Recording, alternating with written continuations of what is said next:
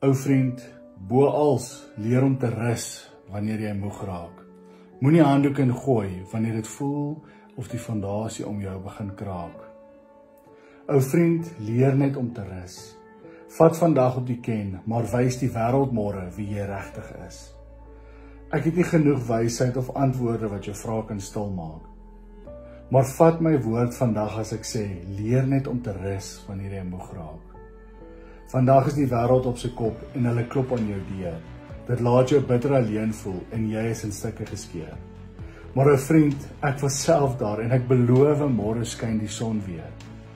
Ek sit eerder vandag en luister terwyl jy huil oor die foon as om eendag by jou graf te staan en verwytend na die hemel te skree, plek sit ek net harder probeer.